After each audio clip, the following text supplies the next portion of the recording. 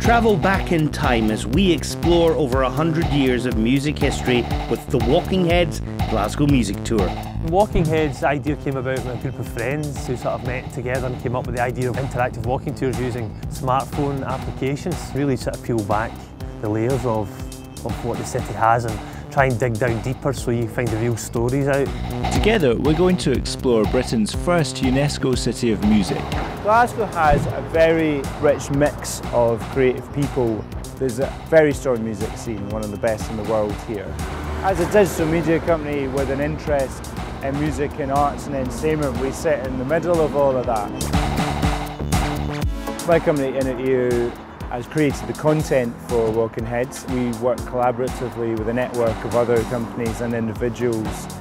Dougal asked me if I was interested and I thought, oh, this is great, because I'm an outsider. I didn't know a lot about the history. I mean, I'd been to the Glasgow Barrowland many a time, but I hadn't really thought about why it was there. Places like Britannia Panopticon as well, that had a zoo in the basement. It's just totally bonkers. We couldn't have done this if we hadn't collaborated because we can't afford to take people on full time to do all this internally. It meant that you could perhaps be a bit more out there because if it was a bit too much or it wasn't quite right, somebody would tone it down a wee bit. And then even when it came to recording, we change it as we went along. It's, it's not possible for, for one person or a group of people to come up with all the solutions or all the possibilities.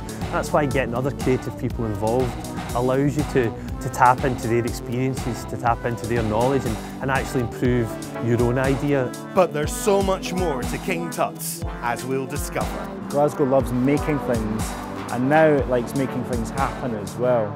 And everybody who gets involved in that creative process feeds off that energy.